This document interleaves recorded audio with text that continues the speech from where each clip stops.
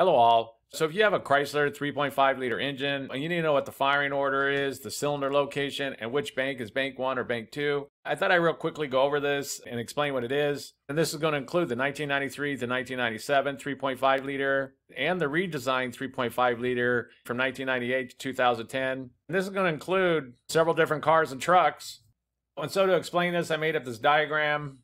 If you need this diagram, I'll put a link down below in the description box. So just check down below if you need it. But basically, when you open up the hood, the cylinder locations on the left hand side, on the passenger side, is going to be one, three, five. And on the right hand side, or the driver's side, is going to be two, four, six. Bank one is going to be on the left on the passenger side, and bank two is going to be on the right or the driver's side. If you ever need to know what side of the engine is bank one or bank two, Bank one is always the side of the engine with the number one cylinder, and the opposite of that is bank two. And the firing order for the Chrysler 3.5 liter is pretty basic. It's just one, two, three, four, five, six. And so that's basically it. If this video helps you, please click like.